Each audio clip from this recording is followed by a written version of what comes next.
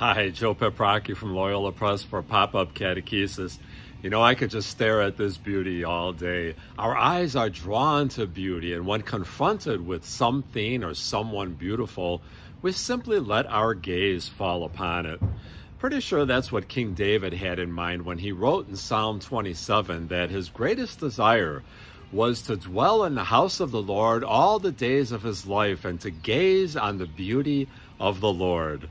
God's beauty, of course, is not physical, but is characterized by qualities such as mercy, compassion, forgiveness, justice, selflessness, steadfastness, and a myriad of other adjectives.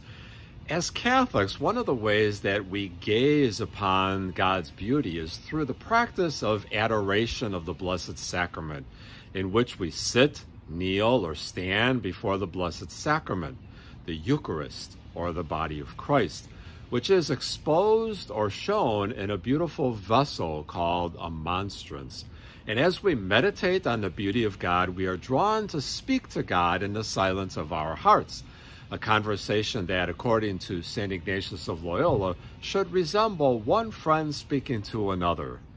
Introducing your children to the practice of adoration of the Blessed Sacrament is a great way to include some quiet in your children's busy and noisy lives. So check with your local parishes and see when adoration is offered and how long you can stay and keep your child from being too fidgety depends on their age and their attention span. A good rule of thumb is about one minute for each year of age. Now, be sure to look at my blog, www.catechistsjourney.com, for a downloadable Eucharistic Adoration prayer card that includes prompts for conversation with Jesus, such as tell Jesus what you are most excited about, thankful for, or sorry for, or ask Jesus for the help that you need in the days to come.